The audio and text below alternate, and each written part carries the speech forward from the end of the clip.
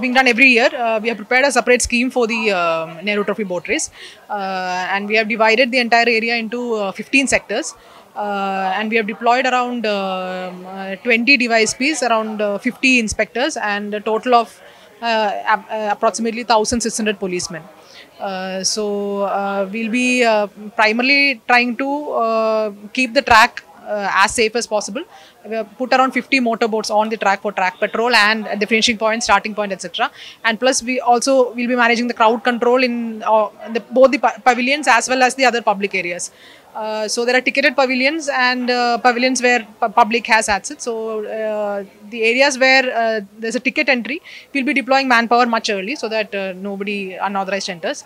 And uh, we'll also be putting track patrol on the track very early in the morning so that no other speed boats or other uh, unauthorized boats enter the area. Uh, plus, this time we have also uh, arranged some restrictions regarding drones uh, that fly around. Uh, so there is a possibility of a drone accident or something of that sort happening. So as per drone rules 2021, uh, we have notified uh, 100 meters around the track uh, track as uh, temporary red zone. So no other drones other than the official drones and um, approved drones will be allowed in that uh, perimeter.